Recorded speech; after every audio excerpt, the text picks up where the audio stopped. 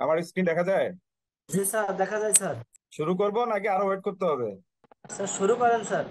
তো আমরা চ্যাপ্টার সেভেনে পড়লাম প্ল্যানিং এইটে পড়লাম understanding the entity and its environment এখন পড়ব চ্যাপ্টার নাইন নাইন হচ্ছে রিস্ক অ্যাসেসমেন্ট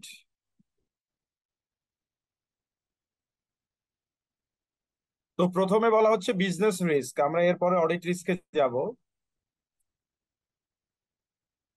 বিজনেস রিস্কে দেখেন একটা ডেফিনেশন দেওয়া আছে risk inherent to the company in its operations একটা কোম্পানির সঙ্গে যেটা ইনহারেন্টলি রিলেটেড এবং তার ডে টু ডে অপারেশনের সঙ্গে যে রিস্কগুলো রিলেটেড সেটা হচ্ছে বিজনেস রিস্ক সো এই বিজনেস রিস্ক বলা হচ্ছে এটা কোথায় আছে? Includes risk at all levels of the business একটা বিজনেসের প্রত্যেকটা লেভেলেই কিন্তু রিস্ক আছে। আর এই যে রিস্ক অ্যাসেসমেন্ট বা এগুলো নিয়ে আমরা কাজ করব, এটা বলা আছে কোথায়? এটা আছে আমাদের আইএসএ থ্রি হান্ড্রেড ফিফটিনে থ্রি হান্ড্রেড ফিফটিন কি বলেছে?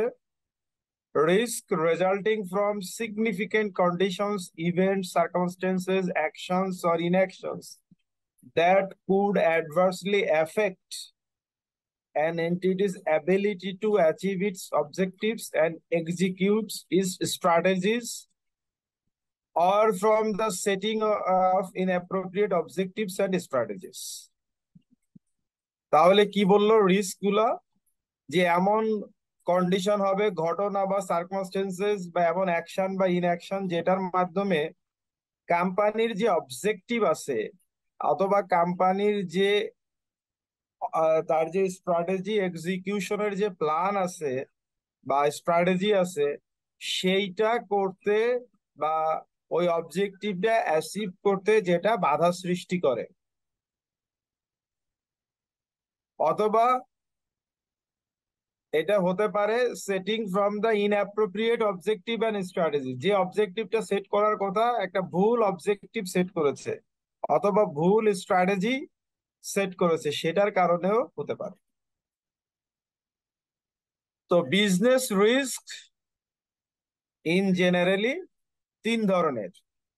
একটা হচ্ছে ফিনান্সিয়াল রিস্ক একটা হচ্ছে অপারেশনাল রিস্ক আর একটা হচ্ছে কমপ্লায়েন্স রিস্ক ফিনান্সিয়াল রিস্ক কি জিনিস risk arising from financial activities or financial consequences of an operation এটা ফিনান্সিয়াল অ্যাক্টিভিটিস এর মাধ্যমে হতে পারে অথবা ফিনান্সিয়াল অপারেশনের কনসিকুয়েন্স এর মাধ্যমে হতে পারে। এখানে দুইটা এক্সাম্পল দেওয়া আছে।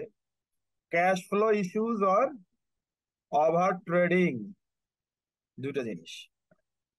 ক্যাশ ফ্লো ইস্যুস কি? আচ্ছা আমাকে শোনা যাচ্ছে তো, না শোনা গেলে বলবেন হ্যাঁ? ক্যাশ ফ্লো ইস্যুস কোন জিনিস?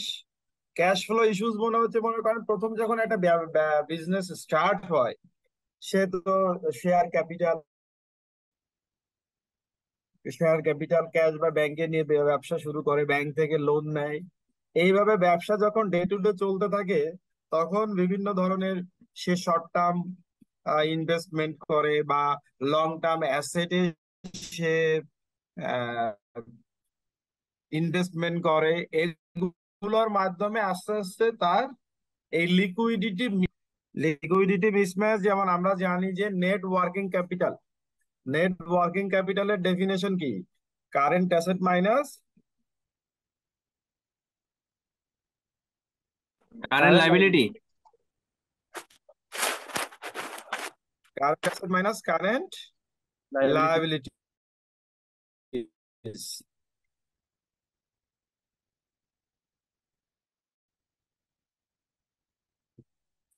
হ্যাঁ সাকিবুল আমাকে কি শুনতে সমস্যা হচ্ছে? না স্যার শুনতে পাচ্ছি তো ক্লাস রিপ্রেজেন্টেটিভ কে কেউ কথা না বললে তো মুশকিল। স্যার শুনতে পাচ্ছি তো আপনাকে স্যার। ক্লিয়ারলি শুনতে পাচ্ছি। তোমাকে কি শুনতে সমস্যা হচ্ছিল এতক্ষণ? কিছুক্ষণ আগে স্যার শুনতে পাইনি কিন্তু এর আগে শুনতে পেয়েছি তো স্যার।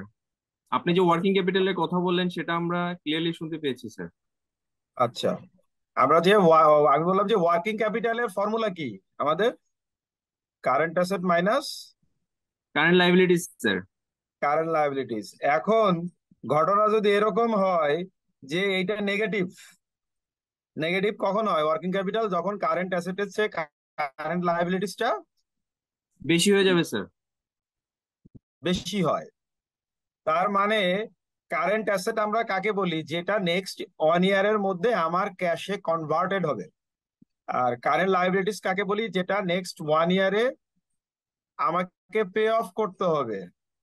তাহলে আগামী এক বছরে লায়াবিলিটি পে অফ করার ক্ষমতা ওই কোম্পানির আছে যার ওয়ার্কিং ক্যাপিটাল নেগেটিভ না স্যার ওয়ার্কিং ক্যাপিটাল নেগেটিভ তার তো স্যার নেই। নাই।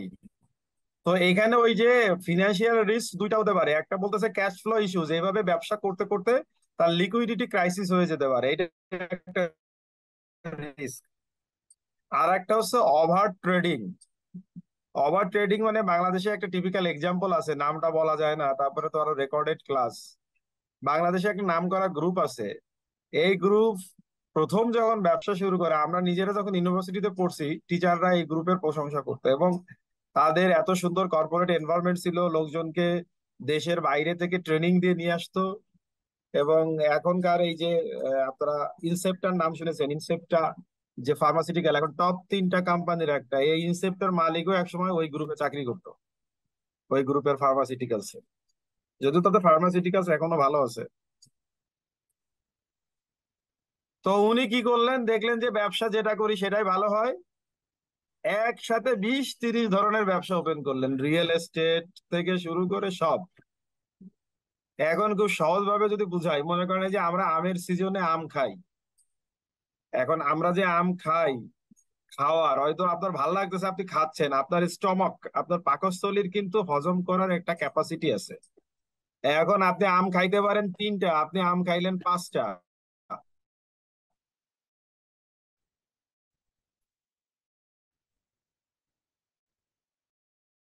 তাইলে কি হবে? আপনার বদ হজম হয়ে সাথে ডাইরেক্ট কানেকশন হয়ে যাবে না? জি স্যার কি আমার কথা শোনা যাচ্ছে না?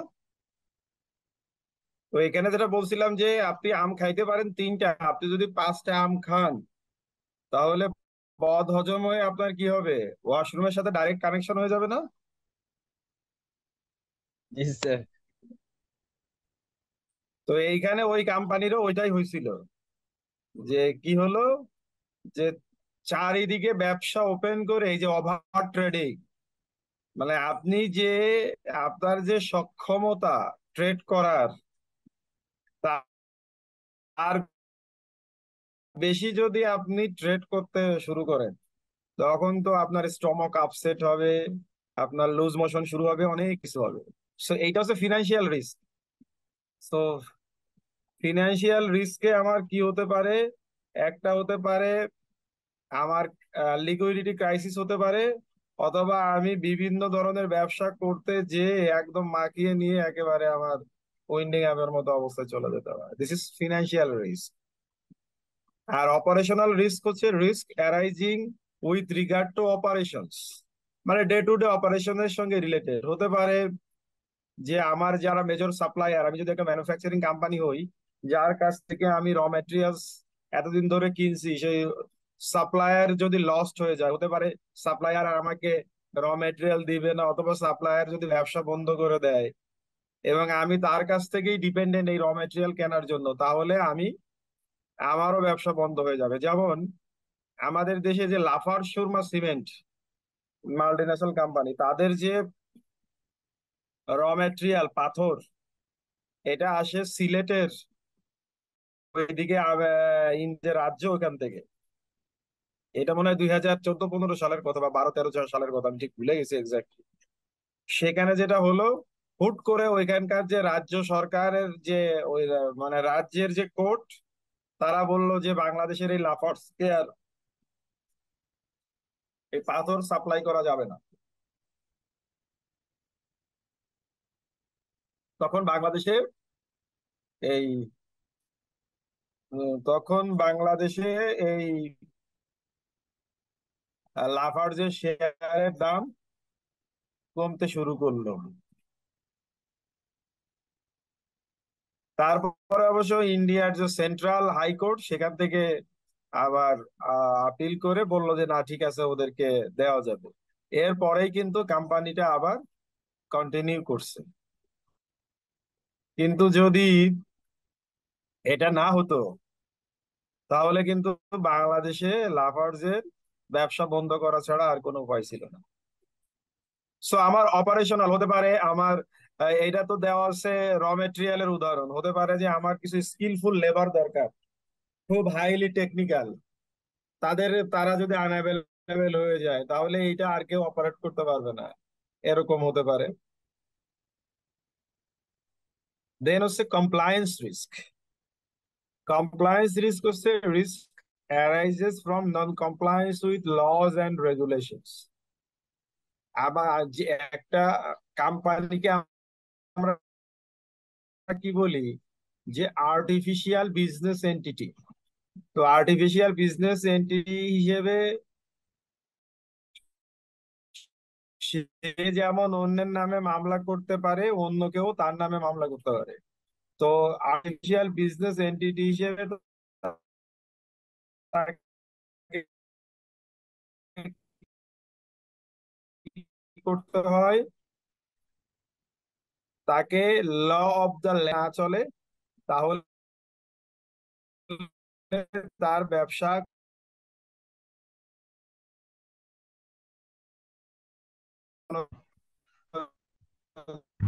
স্যার প্রবলেম হচ্ছে। যে অথরিটির আন্ডারে স্যার কথা শোনা যাচ্ছে না।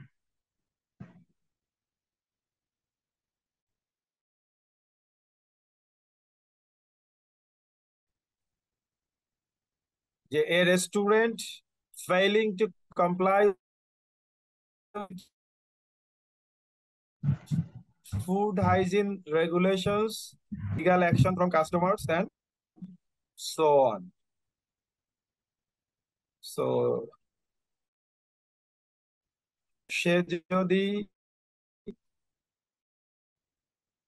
কমপ্লাই করতে না পারে, তার বিরুদ্ধে রেগুলেটরি অ্যাকশন কমপ্লিট শাটডাউনও হয়ে যেতে পারে। এই তিনটা হচ্ছে major business risk financial risk operational risk আর হচ্ছে কমপ্লায়েন্স রিস্ক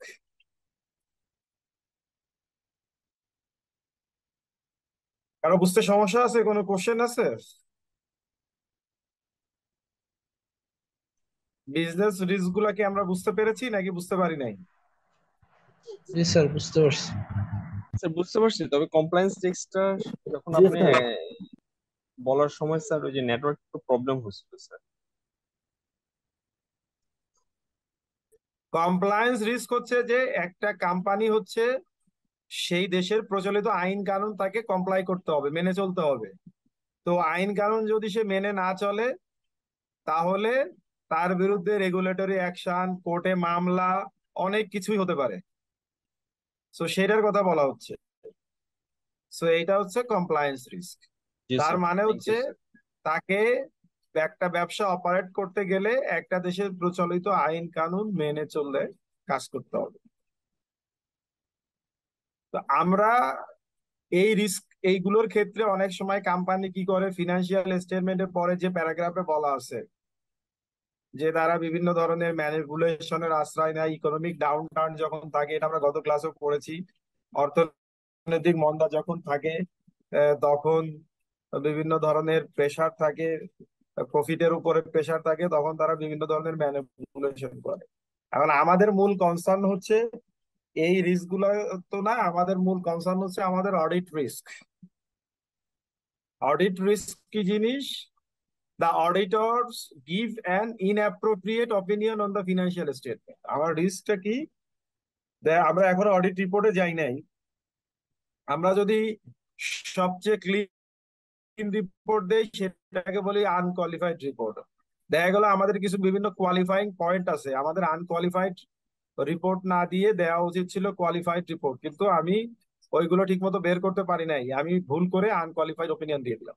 সহজ কথা, যে ওপিনিয়ন দেওয়ার কথা, সেটা না দিয়ে যদি আমি অন্য কোনো ওপিনিয়ন দেই, সেটাই হচ্ছে আমার অডিট রিস্ক আর এই অডিট রিস্কের হচ্ছে তিনটা component inherent risk control risk এবং ডিটেকশন রিস্ক এইটা কিন্তু আপনারা, আপনাদের সার্টিফিকেট লেভেলেও পড়ে এসেছেন সো ইনহেরেন্ট রিস্কের কথা যদি আমি বলি ইনহেরেন্ট যেটাকে আমরা বলি অন্তর্নিহিত বিল্ট ইন মানে ওই কোম্পানি বা যে ব্যবসা করে বা ওই কোম্পানির যে অপারেশন সেটার সঙ্গে এটা বিল্ট ইন এটাকে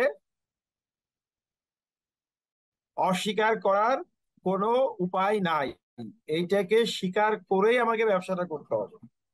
যেমন মনে করেন ব্যাংক একটা ব্যাংক কি করে লিকুইড মানি নিয়ে কাজ করে। এখন আপনার কয়েকজন ধনী ব্যক্তি মিলে চিন্তা করল, তারা একটা ব্যাংক ওপেন করবে। একজন বিজ্ঞের মতো বলল যে, আমরা ব্যাংক ওপেন করব, ঠিক আছে, কিন্তু আমরা কোনো নগদ টাকার লিকুইড মানির কোনো রিস্ক নিতে পারব না। তা আপনি যদি নগদ টাকা লেনদেনই না করেন, তাহলে আপনি কি ব্যাংকিং ব্যবসা করতে পারবেন? সম্ভব? না স্যার, না। এটা কিন্তু সম্ভব না। তো ইনহেরেন্ট রিস্ককে আমরা তিনটা ভাবে অ্যানালাইসিস করতে পারি। একটা হচ্ছে ইন্ডাস্ট্রি লেভেল একটা হচ্ছে এন্টিটি লেভেল আর একটা হচ্ছে ব্যালেন্স লেভেল ইন্ডাস্ট্রি লেভেলে যেটা বলা হচ্ছে যে বিভিন্ন different industries have different levels of inherent risk যেমন আমি ব্যাংকিং ইন্ডাস্ট্রির ইনহেরেন্ট রিস্কের কথা বলে আসলাম। সেটা কি? তাকে লিকুইড মানি নিয়ে কাজ করতে হয়। এখানে গার্মেন্টস ইন্ডাস্ট্রির উদাহরণ দেওয়া হয়েছে। গার্মেন্টস ইন্ডাস্ট্রি মানে হচ্ছে আমাদের দেশের পার্সপেক্টিভে যদি আমি বলি, আমরা এক্সপোর্ট না, আমরা ইউজ করি সেটার ক্ষেত্রে যদি থাকি, যেমন এই যে রিস্টম্যান লুবনান তাই না? ইয়েলো এরকম অনেক। এরা কি করে? হাইলি ফ্যাশনেবল ক্লথ আমাদের জন্য তৈরি করে ছেলে মেয়ে উভয়ের জন্য।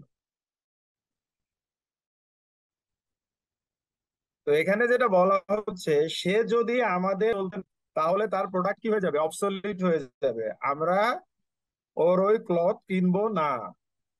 তো এখানে যেটা বলা হচ্ছে যে, আমাদেরকে যেটা মাথায় রাখতে হবে, আমি যখন এই ক্লদিং কোম্পানি গার্মেন্টস ইন্ডাস্ট্রির কোনো কোম্পানিতে অডিট করতে যাব, আমাকে মাথায় রাখতে হবে এর মধ্যে এমন, আমাদের আইএস টু আইএস টু বলেছে যে ইনভেন্টরি ফিনান্সিয়াল স্টেটমেন্টের রিপোর্ট করতে হবে lower of cost and net realizable value অথবা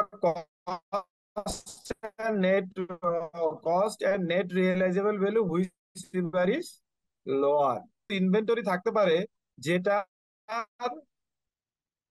কস্টের চেয়ে নেট রিয়েলাইজেবল ভ্যালু কম। তাহলে ইনভেন্টরির উপরে অবসোলেসেন্স প্রভিশন রাখতে হবে। এই জিনিসটা আমাদেরকে মাথায় রেখেই কাজ করতে যেতে হবে।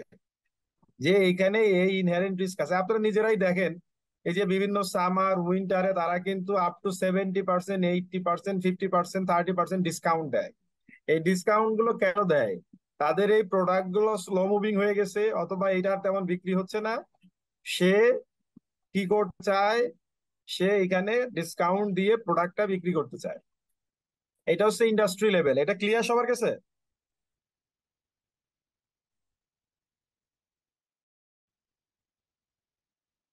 কেউ না কেউ তো একটু সাড়া দিতে হবে তা নাহলে তো আমি সামনে আগাবো কীভাবে? আমরা তো ভার্চুয়াল ক্লাস নিচ্ছি। জি স্যার জি স্যার। রিপ্রেজেন্টেটিভ কে? এই- পরিমল ক্লিয়ার সবার কাছে? জি স্যার মাঝে মাঝে একটু নেটওয়ার্কের প্রবলেম হচ্ছে স্যার। স্যার নেট প্রবলেম হচ্ছে।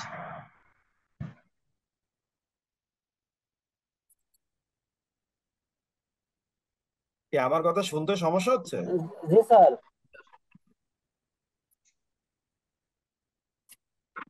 তো স্যার মাঝে মাঝে মাঝে মাঝে প্রবলেম হচ্ছে আর কি স্যার।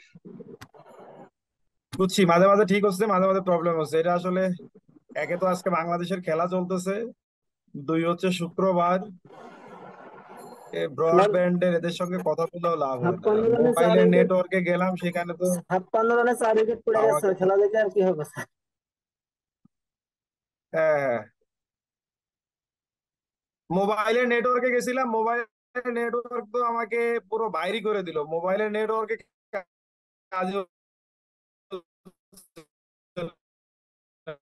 কারণ মোবাইলে অনেকেই মোবাইলেই খেলা দেখতেছে। তো এই জন্য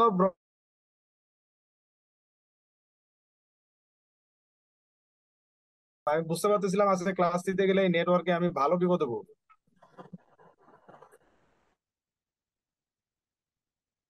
আচ্ছা এরপরে আছে এনটিটি লেভেল এনটিটি লেভেল মানে হচ্ছে যে একটা সেম ইন্ডাস্ট্রি সেম ইন্ডাস্ট্রির দুইটা কোম্পানি তার মধ্যে একটা টেক ওভার টার্গেট আছে। Up to its overdraft limit up to its overdraft limit মানে যে তার লিকুইডিটি ক্রাইসিস আছে, সে ওভারড্রাফট ফ্যাসিলিটি ইউজ করে এবং ওভারড্রাফট ফ্যাসিলিটি তার যা ছিল, তার পুরাটাই সে ইউজ করে ফেলছে। Had a major supplier R customer in difficulties তাকে যারা র মেটেরিয়াল সাপ্লাই দিত, তাদের অবস্থাও ভালো না। তার কাছ থেকে যারা ফিনিশ গুডস কিনে, তাদের অবস্থাও ভালো না। দুই পক্ষের অবস্থাই খারাপ। এরকম যদি অবস্থা হয়, তাহলে এ আর বির মধ্যে যার এই অবস্থা? মনে করেন বি এর এই অবস্থা। তাহলে তার ইনহেরেন্ট রিস্ক এর চেয়ে বেশি। এরপরে বলা হচ্ছে ব্যালেন্স লেভেল ব্যালেন্স লেভেল হচ্ছে এই যে বিভিন্ন ধরনের ব্যালেন্সের বিভিন্ন ধরনের ইনহেরেন্ট রিস্ক এখানে খুব সুন্দর একটা উদাহরণ দেওয়া আছে জুয়েলারি কোম্পানি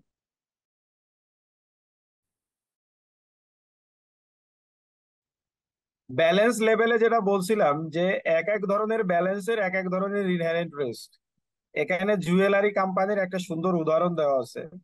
মনে করেন জুয়েলারি কোম্পানিতে কি থাকে? এই যে সুন্দর সুন্দর আলমিরা থাকে, তার মধ্যে বিভিন্ন ধরনের জুয়েলারি অর্নামেন্টস গোল্ডের তারপরে ডায়মন্ড বিভিন্ন ধরনের জুয়েলারি অর্নামেন্ট সেখানে সাজানো থাকে। তারপরে ওদের সুন্দর সুন্দর সব ফিটিংস থাকে। তারপর অনেক বড় বড় সিকিউরিটি লক থাকে এগুলো থাকে। এখন একটা জুয়েলারি কোম্পানিতে রাতের বেলা যখন কোনো চোর বা ডাকাত চুরি বা ডাকাতি করতে যাবে ও আসলে কি চুরি করবে? ওই সুন্দর সুন্দর সব ফিটিংস চুরি করবে? আলমিরা চুরি করবে? নাকি কি চুরি করবে? গোল্ড হ্যাঁ? স্যার গোল্ড ও চুরি করবে হচ্ছে জুয়েলারি অর্নামেন্টস গোল্ড তাই না? গোল্ড বা গোল্ড বলি তারপরে ডায়মন্ড বলি এগুলো চুরি করবে। তো এই ক্ষেত্রে বলা হচ্ছে যে ওর ওই যে আলমিরা সব ফিটিং সিকিউরিটি লক এগুলো চেয়ে ওর যে জুয়েলারি অর্নামেন্টস তার ইনহারেন্ট রিস্ক বেশি। তো ইনহেরেন্ট রিস্কটা আমরা তিনটা লেভেলে দেখলাম। যে একটা কোম্পানির নেচার যে গার্মেন্টস ইন্ডাস্ট্রি তার ইনভেন্টরি অবসলিউট হয়ে যেতে পারে। সো তার ইনভেন্টরিতে এমন কোনো ইনভেন্টরি থাকতে পারে যার এনআরবি কস্টের চেয়ে কম। আর এনটিটি লেভেলে দেখলাম যে কারও যদি টেক ওভার টার্গেট থাকে, যে কেউ তাকে কিনে নিতে পারে। তার যদি লিকুইডিটি ক্রাইসিস থাকে, তার সাপ্লায়ার আর এমপ্লয়ি যদি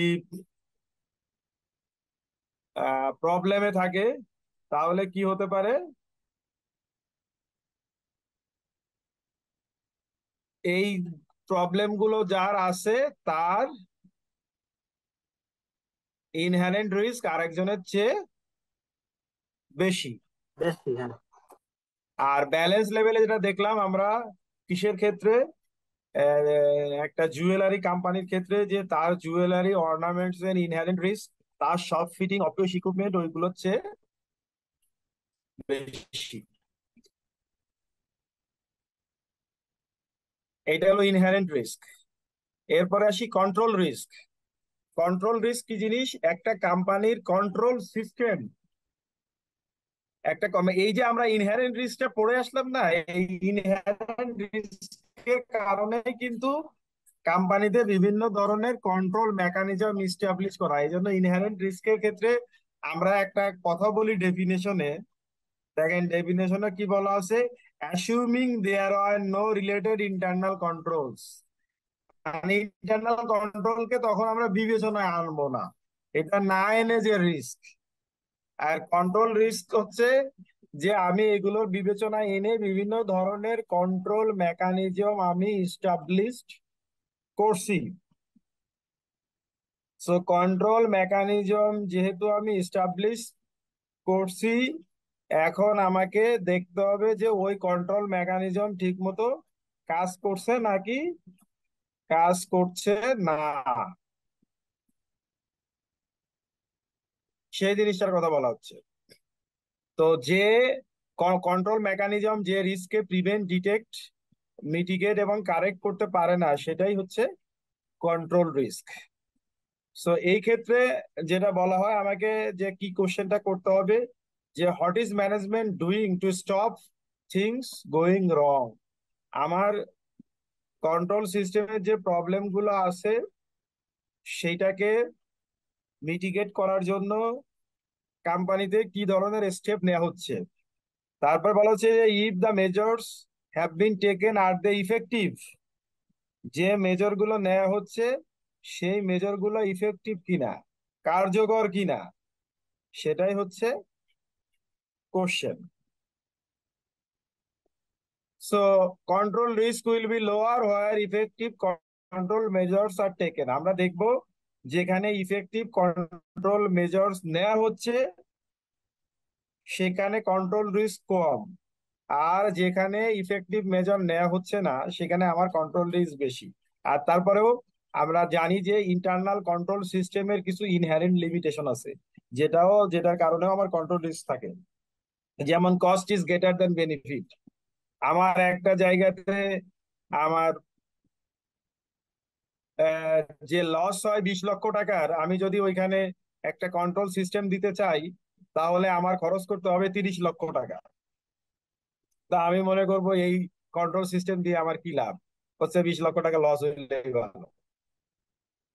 তারপরে বলা হচ্ছে রুটিন আর নন রুটিন ট্রানজেকশন এই কন্ট্রোল সিস্টেম ভালো কাজ করে for routine transaction non routine unusual এই ট্রানজেকশন কি ঘটবে সেটাই তো আমি জানি না।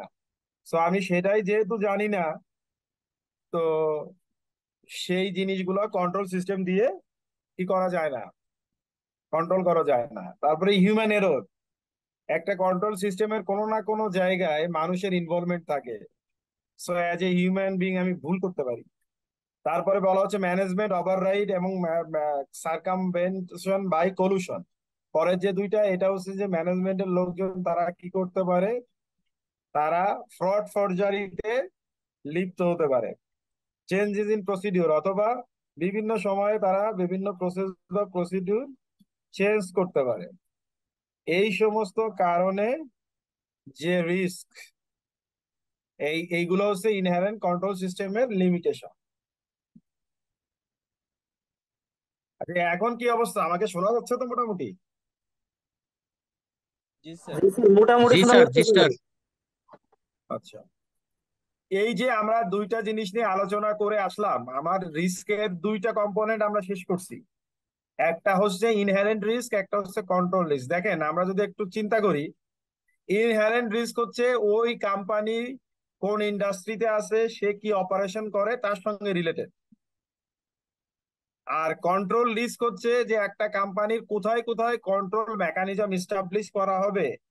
This is up to the responsibility and intention of companies directors and management so এই যে দুইটা রিস্কের কথা আমরা বললাম inherent risk and control risk এই দুইটা রিস্কের উপরে অডিটরের কোনো কন্ট্রোল নাই। এই দুইটা কম্পোনেন্টের উপরে অডিটরের কোনো কন্ট্রোল নাই। কারণ একটা ব্যবসায়ের সঙ্গে ইনহেরেন্টলি রিলেটেড আর আরেকটা হচ্ছে কোথায় কোথায় কন্ট্রোল সিস্টেম দিবে, এই ডিসিশন অডিটর নেয় না। এই ডিসিশন কোম্পানির ম্যানেজমেন্ট এবং ডিরেক্টররা নেয়। সো এই দুইটার উপরে অডিটরের কোনো কন্ট্রোল নাই।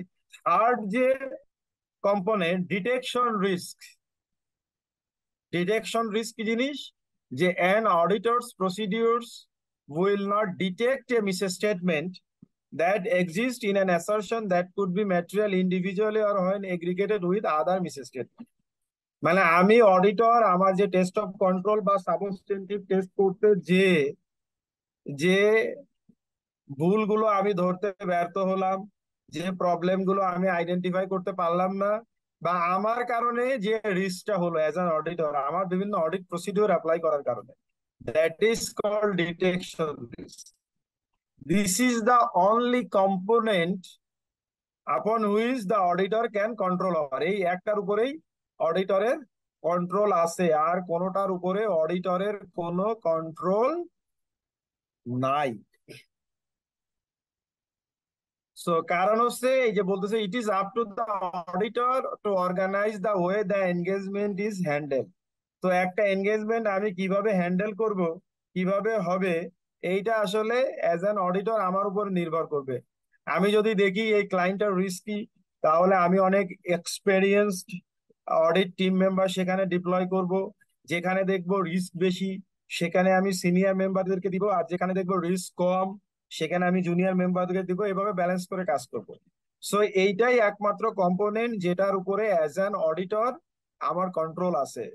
তো আমি ইনহেরেন্ট এবং কন্ট্রোল রিস্ক অ্যাসেস করে যদি দেখি যে দুইটাই বেশি, তো ডিটেকশন রিস্কে আমাকে কি করতে হবে? ডিটেকশন রিস্কের মাধ্যমে কমিয়ে আনার চেষ্টা করবে। সেই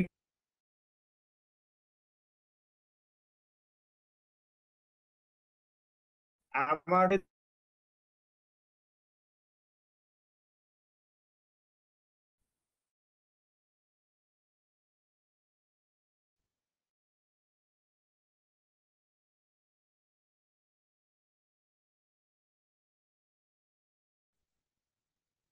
তো এখানে দুইটা টার্মিনোলজি এটা মনে হয় আপনার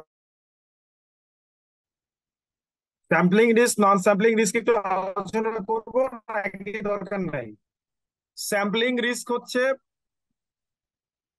আমার স্যাম্পল সাইজের মধ্যে যদি প্রবলেম থাকে, কীরকম মনে করেন এক জায়গায় একশোটা পপুলেশন আছে হান্ড্রেড ট্রানজেকশন আছে, যেটাকে আমরা স্ট্যাটিস্টিকের ভাষায় বলি পপুলেশন ওখান থেকে আমি পঞ্চাশটা ট্রানজেকশন পিক করলাম। পঞ্চাশটা ট্রানজেকশন পিক করে আমি টেস্ট করলাম, করে আমার একটা রেজাল্ট আসলো। কিন্তু আমি যদি একশোটা টোটাল পপুলেশনকেই টেস্ট করতাম, তাহলে যে রেজাল্ট আসতো সেটা হয়তো ডিফারেন্ট এটাই হচ্ছে আমার স্যাম্পলিং রিস্ক মানে হচ্ছে my sample size is not representing the whole population আমার স্যাম্পল সাইজ পুরো পপুলেশনকে রিপ্রেজেন্ট করছে না। আর নন স্যাম্পলিং রিস্ক হচ্ছে যে স্যাম্পল সাইজ ঠিক আছে, আমি যে পঞ্চাশটা স্যাম্পল নিলাম, ওই পঞ্চাশটা স্যাম্পল নিয়ে টেস্ট করে আমি যে রেজাল্ট পেলাম, একশোটা নিয়ে যদি আমি ঠিকমতো টেস্ট করতাম, একই রেজাল্ট পেতাম। তো আমার স্যাম্পলে সমস্যা নাই, সমস্যা অন্য জায়গায়। কি সমস্যা? আমি যে অডিট প্রসিডিওর অ্যাপ্লাই করে এই পঞ্চাশটা স্যাম্পল টেস্ট করা উচিত ছিল, আমি একটা inappropriate audit procedure that means একটা ভুল অডিট প্রসিডিওর অ্যাপ্লাই করলাম। অথবা ওই পঞ্চাশটা টেস্ট করে আমার যে সমস্ত এভিডেন্স আমি পেয়েছি, সেই এভিডেন্স গুলোকে আমি মিস ইন্টারপ্রিট করলাম, ভুল ব্যাখ্যা করলাম। আমি ঠিকমতো ব্যাখ্যা করতে পারলাম না। অথবা ওই পঞ্চাশটা যে আমি টেস্ট করছি, ওইখানে যে বিভিন্ন ধরনের ভুল ভ্রান্তি ছিল, সেই সমস্ত ভুল ভ্রান্তি আমি রিকগনাইজ করতে, শনাক্ত করতে ব্যর্থ হলাম। এই যদি হয় অবস্থা this is called non sampling risk তো অডিটর হিসেবে আমার দায়িত্ব হচ্ছে, এটা যেহেতু ডিফারেন্ট আলোচনা, আমার যে inherent risk control risk detection risk একটা রিস্কের উপরেই আমার কন্ট্রোল আছে সেটা হচ্ছে আমার ডিটেকশন রিস্ক তো এইটাকে মিনিমাইজ করার আমার ম্যাক্সিমাম চেষ্টা করতে হবে। এইটার মাধ্যমে ওভারঅল অডিট রিস্কটাকে আমাকে মিনিমাইজ করতে হবে। এবার বলা হচ্ছে রিস্ক অ্যাসেসমেন্ট রিস্ক অ্যাসেসমেন্টের এখানে যে মেইন জিনিসটা আপনাদের আসছে, এগুলো আপনাদের আগের সার্টিফিকেট লেভেলেও ছিল। এখানে সিগনিফিকেন্ট রিস্কের কথা বলা হচ্ছে। এটা আপনাদের সার্টিফিকেট লেভেলে এটাও ছিল। সো সিগনিফিকেন্ট রিস্ক কোন জিনিস? A significant risk is a risk which requires a special audit consideration সহজ কথা হচ্ছে, আমরা ক্লায়েন্টে কাজ করতে গেলে ছোট, বড়, মাঝারি, বিভিন্ন ধরনের রিস্ক আমি আইডেন্টিফাই করব। এখন সব রিস্ক নিয়ে যদি আমি কাজ করতে যাই, তাহলে আমি আসলে কাজ শেষ করতে পারব না।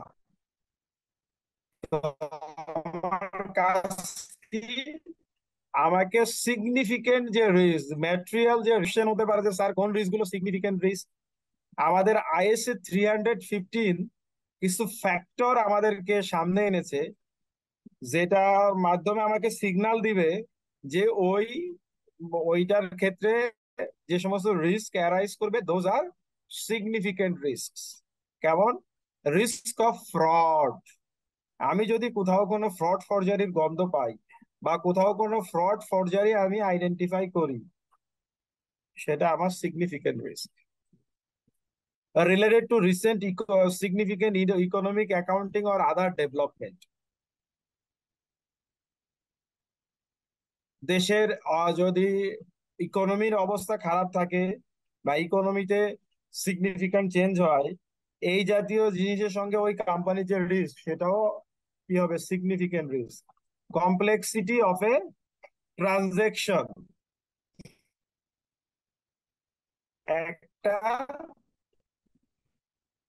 ট্রানজেকশন যত কমপ্লেক্স হবে, সেখানে ইট ইজ এ সিগনেটেড পার্টি নিয়ে আগেও বিভিন্ন ক্লাসে কথা বলা, বলার চেষ্টা করেছি যে any sort of related party transaction is material যেহেতু any sort of related party transaction is material so auditor হিসেবে আমার কাজ হচ্ছে যে প্রত্যেকটা রিলেটেড পার্টি ট্রানজেকশন আমি ঠিক মতো চেক করব।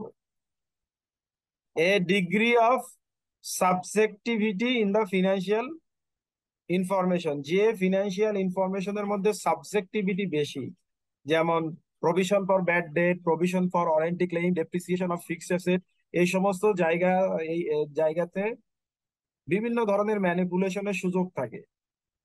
সো এগুলো আমার জন্য significantly risk it is an unusual transaction এমন একটা ট্রানজেকশন কোম্পানিতে ঘটেছে যে ট্রানজেকশনটা সচরাচর ঘটার কথা না। তাহলে কেন ঘটলো? এটা আমি আমাকে ডিগিন করে খতিয়ে দেখতে হবে। এইটাও আমার জন্য কি? সিগনিফিকেন্ট রিস্ক লাস্ট যে টপিকটা আমাদের আজকের লেকচারে আছে, সেটা হচ্ছে ডকুমেন্টেশন এই যে আমরা থ্রি হান্ড্রেড ফিফটিন অনুযায়ী যে সমস্ত প্রবলেমগুলো দেখলাম, এই রিলেটেড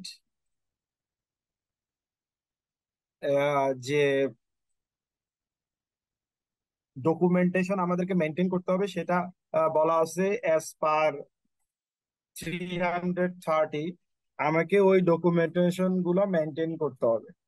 কি বলছে যে discussion among the audit team concerning the susceptibility of the financial statements true material misstatement including any significant decision risk কোনো ম্যাটেরিয়াল মিসস্টেটমেন্ট স্টেটমেন্ট থেকে অ্যাজ অ্যান অডিটর আমি কোনো সিগনিফিকেন্ট ডিসিশন নিলাম, এটা অবশ্যই আমাকে ডকুমেন্টেড করতে হবে। তারপরে আমার ক্লায়েন্টের যে আমি আন্ডারস্ট্যান্ডিং নিলাম, তার যে কি এলিমেন্ট সেই সমস্ত এবং আমি যে যে রিস্ক অ্যাসেসমেন্ট প্রসিডিউরস আমি ক্যারি আউট করলাম, এগুলো সব আমাকে ডকুমেন্টেড করতে হবে। The identified and assessed risk of material misstatement আমি যে রিস্ক আইডেন্টিফাই করলাম এবং অ্যাসেস করলাম, এই রিলেটেড ডকুমেন্টেশনও আমাকে মেনটেন করতে হবে। Significant risk identified and related controls evaluated আমি যে সমস্ত সিগনিফিকেন্ট রিস্ক আইডেন্টিফাই করেছি এবং এই ক্ষেত্রে কোম্পানির কি কি কন্ট্রোল মেকানিজম এস্টাবলিশ করা আছে এই রিলেটেড ডকুমেন্টেশন আমার কাছে থাকতে হবে।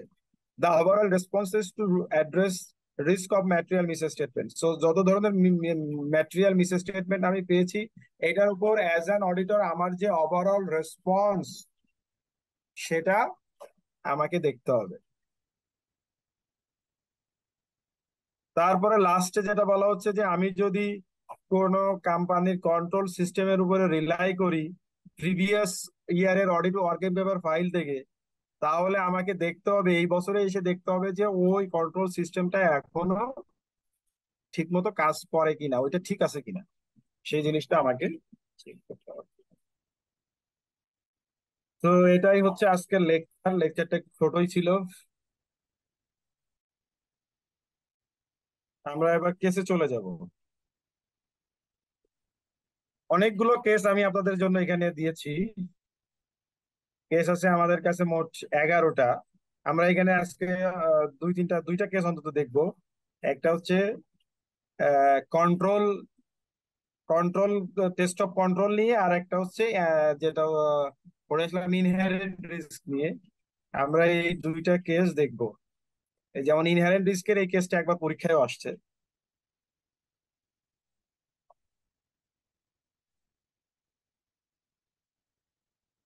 এটা কে পড়বে? কেস নাম্বার এইট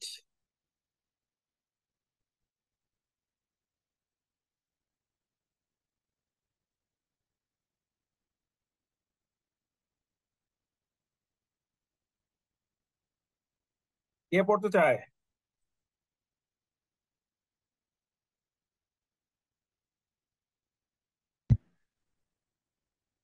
স্যার আমি পড়ব। পড়েন। Required sir a identify areas of inherent risk in the Euchari charity and explain the effect of each of these risk on the audit approach b তাহলে এই নাম্বারে কয়টা জিনিস চেয়েছে আমার কাছে identify একটা কেসের কিন্তু রিকোয়ারমেন্ট বোঝা খুব জরুরি মাথায় রাখবেন আদারওয়াইজ কিন্তু পরীক্ষার হলে প্রশ্নের উত্তর লিখে আসবেন ঠিকই কিন্তু নাম্বার পাবো না আমরা। দুইটা চাইছে। কি বলেছে বলেন তো এতে? কি জানতে চেয়েছে? চাইছে sir identify areas of inherent inherent risk এখানে কি কি ইনহেরেন্ট রিস্ক আছে সেটা আইডেন্টিফাই করতে হবে। এটা বলে কি আমাকে থেমে যেতে বলছে? না স্যার এক্সপ্লেন করতে বলছে। ব্যাখ্যা করতে আবার বলছে। এটার ইফেক্টটা কি? আমার অডিট অ্যাপ্রোচের উপরে সেটাও আমাকে কি করতে বলছে? এক্সপ্লেন করতে বলছে। তার মানে আমি রিস্ক আইডেন্টিফাই করব তার ইফেক্টটা এক্সপ্লেইন করব। আচ্ছা এরপরে বিতে যান। বিতে কি বলছে? B Explain why the control environment may be weak at the charity ইউকারি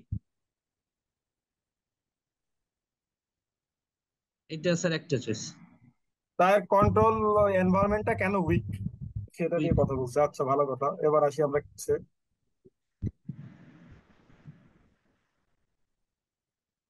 করব স্যার। পড়েন Mohsin Case question 8. The Euchari charity was established in 1960. The charity's aim is to provide support to children from disadvantaged backgrounds who wish to take part in sports such as tennis, badminton, and football. Euchari has a detailed constitution which explains how the charity's income can be spent. The Constitution also notes that administration expenditure cannot exceed 10% of income in any year. The charity's income is derived wholly from voluntary donations. Sources of donations include uh, entonces sir new কি? roman on roman on sorry roman on cash collected by volunteers asking the public for donations in shopping areas. Roman 2 checks sent to the charity's head office. And roman 3 uh, donations from generous individuals. Some of these uh, donations have specific clauses attached to them indicating that the initial amount donated capital cannot be spent and that the income interest from the donation must be spent on specific activities. For example, provision of sports equipment. The rules regarding the taxation of charities in the country inquiry is based are complicated with only certain expenditure being allowable for taxation purposes and donations of capital being treated treated as income in some situations. Service. আচ্ছা এখন বলেন কি কি inherent risk আছে কোনো risk নাই কোনো inherent risk নাই স্যার ইনহেরেন্ট রিস্কে একটা আছে যে ক্যাশ কালেক্টেড স্যার এই ক্যাশটা একটা ইনহেরেন্ট রিস্ক আর এখানে যে বলেন ক্যাশ নিয়ে স্যার ক্যাশ স্যার রোমান ওয়ানে যেটা বলা আছে আর কি sir cash collected by volunteers asking the public for donation দেখেন এখানে কয়েকটা জিনিস আছে ভালো একটা জিনিস বলছে ক্যাশ কালেক্টেড বাই ভলেন্টিয়ার্স তার মানে ভলেন্টিয়ার কারা হয়? আমরা অনেক সময় অনেকে অসুস্থ শপিং মল বিভিন্ন জায়গায় যে ভলেন্টারি কালেক্ট করি না আমাদের বিভিন্ন কলেজ কোনো পরিচিত আত্মীয় স্বজন বা যখন আমরা স্টুডেন্ট থাকি আমাদের ক্লাসের কোনো ক্লাসমেটের জন্য করতে যাই না? যাই কিনা? গেছি না আমরা বিভিন্ন সময়? দেখি না আমরা রাস্তাঘাটে? জি স্যার এ আমার কথা শোনা যাচ্ছে না? জি স্যার শোনা যাচ্ছে।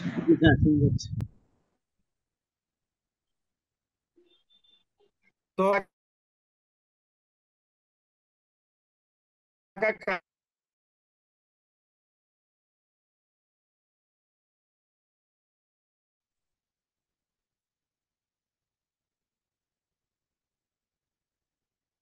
গ্যারান্টি আছে?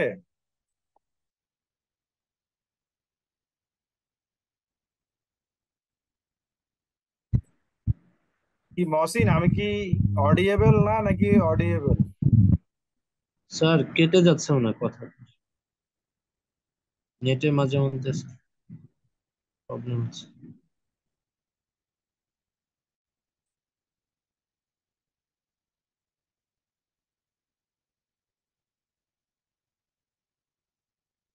এখন কি অবস্থা? স্যার এখন শুনতে পাচ্ছি স্যার। এখন শোনা যাচ্ছে। স্যার। আচ্ছা।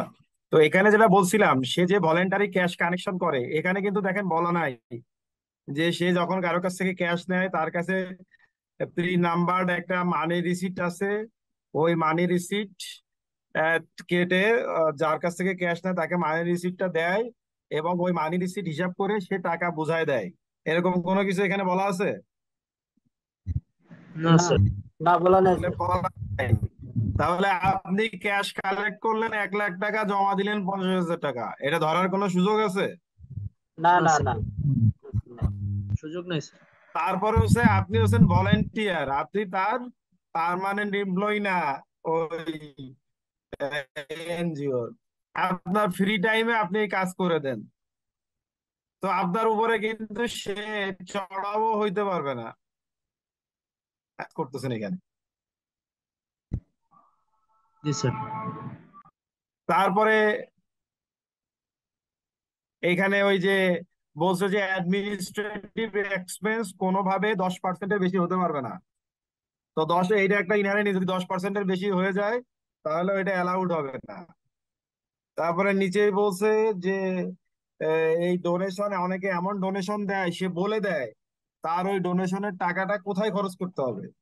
তো সেখানে খরচ না করে যদি অন্য খাতে খরচ করে, তাহলে অনেক সময় যে লোক ডোনেশন দিচ্ছে, সে বলবে যে, ঠিক আছে, তাহলে তোমাদের এখানে আর আমি টাকা দিব না। এটা হতে পারে।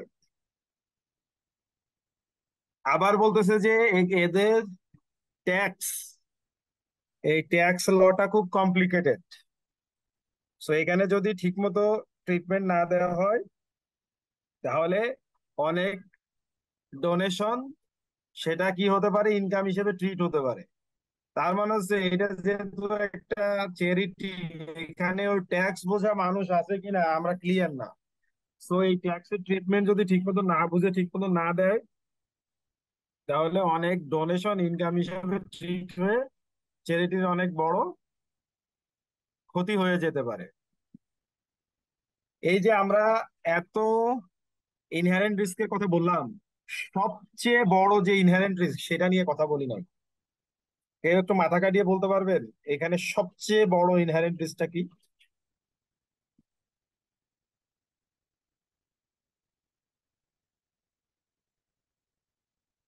কি মহসিন এখানে সবচেয়ে বড় ইনহেরেন্ট রিস্কটা কি মনে হয়.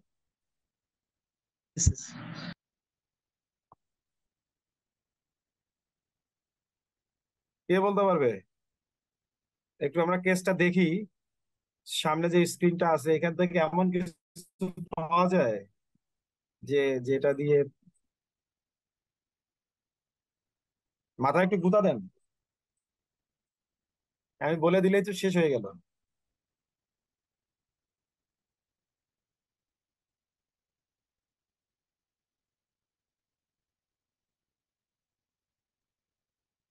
কিছু পাওয়া যাচ্ছে নাকি পাওয়া যাচ্ছে না? সবাই সারেন্ডার করলাম নাকি?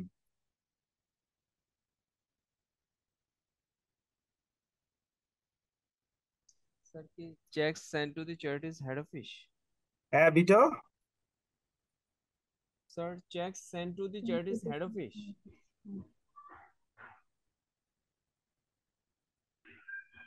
জোরে বলেন আপনার কথা শুনি নাই। Sir cheque sent to the charity's head office এই বিষয়টা। এটা আসলে বলা নাই যে এটা কি পেয়েবল চেক না চ্যারিটির নামে বা ক্যাশ চেক হ্যাঁ সেটা ঠিক আছে ওটা একটা রিস্ক কিন্তু আমি সবচেয়ে বড় রিস্কের কথা বলছি। স্যার আরেকটা পয়েন্ট আছে। স্যার হ্যাঁ, একটা পয়েন্ট আছে সেটা হচ্ছে কনস্টিটিউশনে বলা আছে এক্সপ্লেন করা আছে চ্যারিটি ইনকামটা কোথায় স্পেন্ড করতে হবে।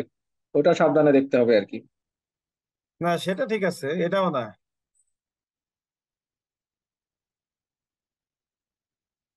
পঁচাত্তর জন ক্লাসে কারোর মাথায় আসতেছে না? এবার বলে দিব? স্যার হোল ডোনেশনটা হচ্ছে ইয়া থেকে ভলান্টারি থেকে আসে। হ্যাঁ কি? আজমির?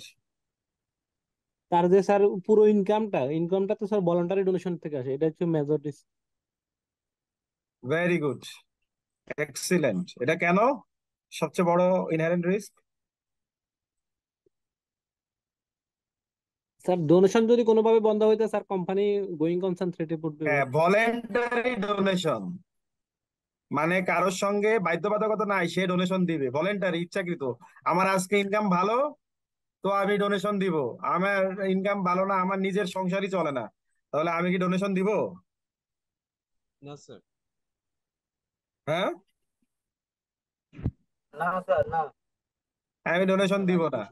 তাহলে কি দাঁড়াল? এই কোম্পানির ফিক্সড ওরকম কোনো ইনকাম নাই। তার মেইন ডোনেশন বলতেছে charity's income is driven wholly সম্পূর্ণভাবে from voluntary donation hundred percent voluntary ডোনেশনের উপরে চলে সে। ডোনেশন নাই তো এনজিও নাই। তাহলে এটা সবচেয়ে বড় ইনহারেন্ট রিস্ক না? জি স্যার। মাথা খাটায় পড়তে হবে। তারপরে explain why control environment may be weak এটা আমি উত্তর দিয়ে দিব আপনারা দেখেন। আর আর একটা কেস দেখতে চাই। কেস নাম্বার নাইন নাইনটা কে পড়বে? এই কেসের তিনটা কোশ্চেন তিনটা কলাম করে করে এটার অ্যান্সার করা যায়।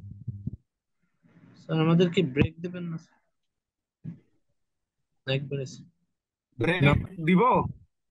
আমাদের ব্রেক আচ্ছা তাহলে আমরা ব্রেক নেই। কত মিনিট ব্রেক নিব? চারটা বিশ বাজে। আজান দিয়ে দিছে? আজান কি দিছে?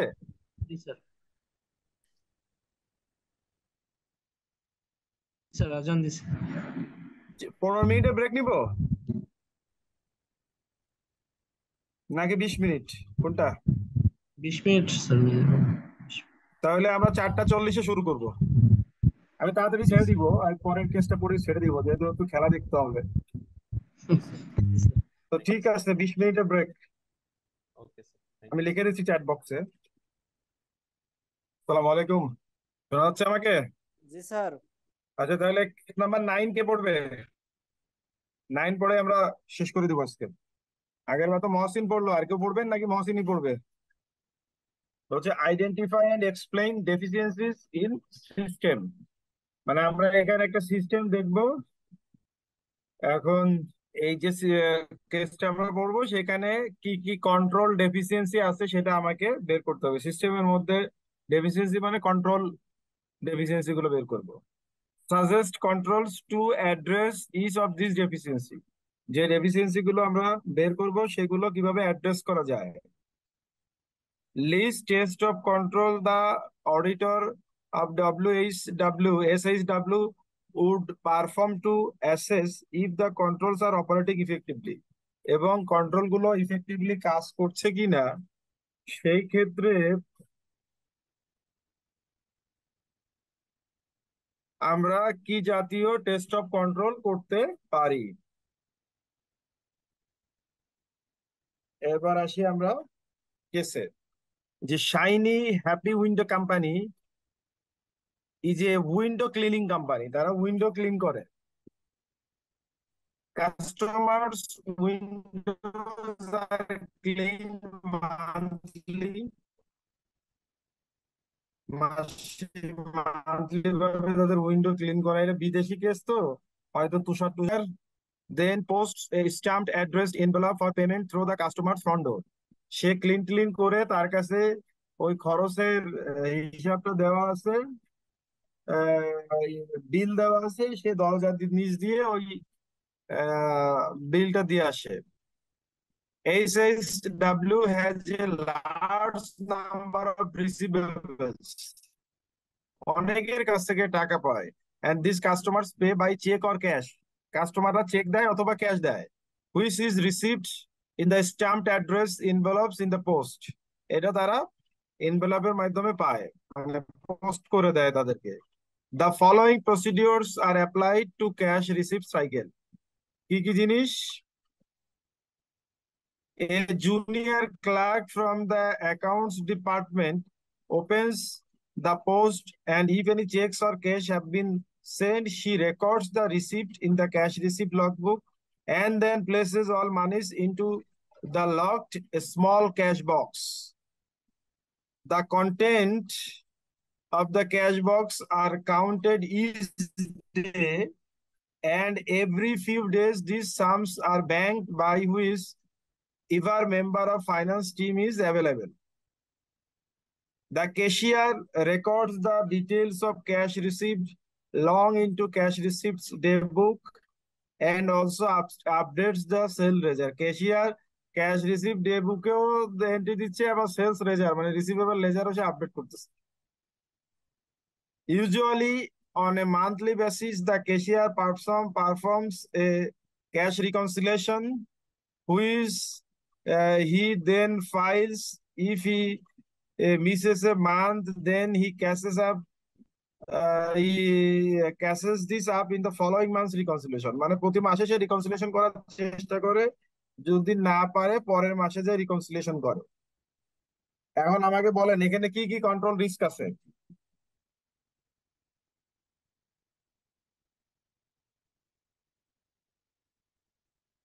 হ্যাঁ? সবাই কি খেলায় মশগুল নাকি?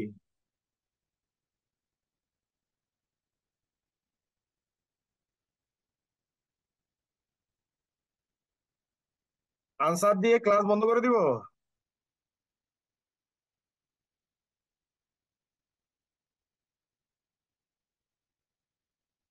নাকি আমাকে শোনা যায় না কোনটা?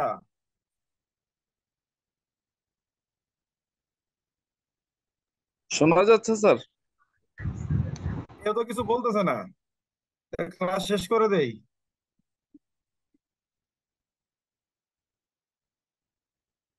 কি কি কন্ট্রোল রিস্ক আছে? অ্যান্সার আমি বক্সে দিয়ে দিচ্ছি। বুঝতেছি বাংলাদেশ, বাংলাদেশের খেলা আসলে আজকে ইয়ে দেওয়াটাই ঠিক হয়নি। ক্লাস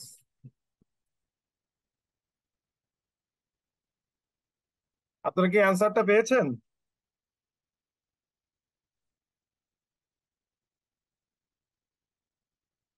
জি স্যার। জি স্যার। হ্যাঁ বলেন। যেমন আমি দুই একটা বলে ছেড়ে দেই আমি বুঝতেছি সবাই আজকে খেলা নিয়েই ব্যস্ত। আপনারা ক্যাশ আর রাখার বল দেখছেন নাকি দেখেন নাই? দেখছি স্যার। ক্যাশের বল কেমন হয় ছোট না বড়?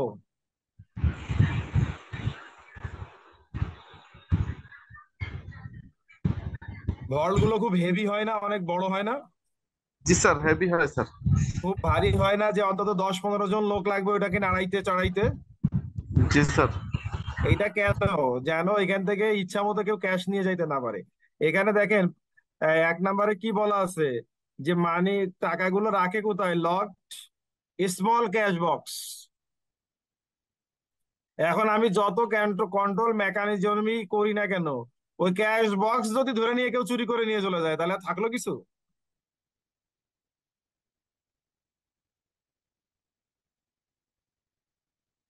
বোঝা গেছে আমার কথা? জি স্যার। জি স্যার। আচ্ছা বুঝছি। ক্লাসে কারও মন নাই ক্লাস এখানে শেষ।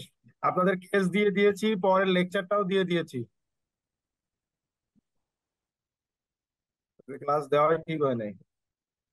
তো আমরা ক্লাস আজকে এখানে ক্লোজ করতেছি।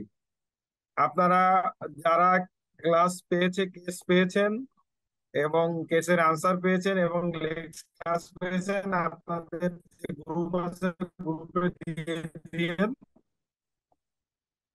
ঠিক আছে?